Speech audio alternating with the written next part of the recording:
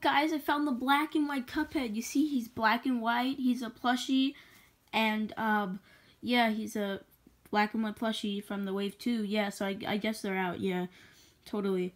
Um, yeah, so that's the black and white Cuphead, you know, here's a, here's a, here's a view. Yeah, so that's the black and white, oh, oh, oh crap!